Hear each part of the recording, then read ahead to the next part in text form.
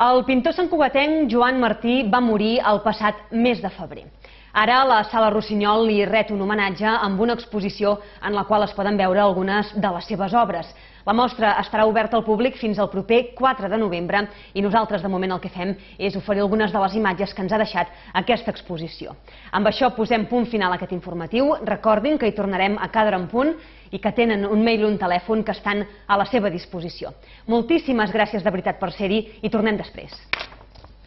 L'exposició de Joan Martí a la Sala Rossinyol estava programada des de fa més de dos anys. Tot i la mort del pintor santcugatenc el passat febrer, la mostra de les seves últimes obres s'ha acabat gestant com un gran homenatge que es podrà veure fins al 4 de novembre. Joan Martí, un pintor que no destruïa ni minimitzava la realitat, al revés, la representa i la recrea.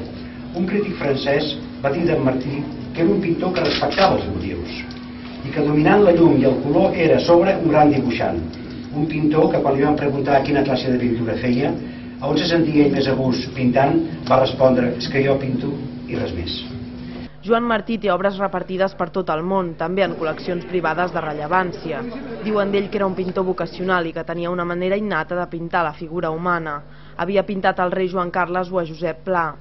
Ell dir, doncs, tenia l'equilibri del el, el color, l'equilibri de la línia dintre d'una gran passió per la llum. La llum li interessava enormement. Martí va estar molt vinculat a Sant Cugat.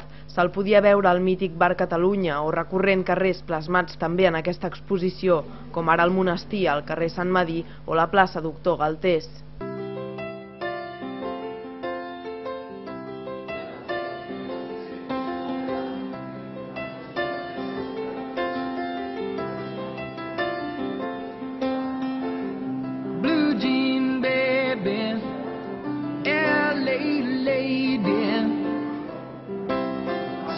was for the band.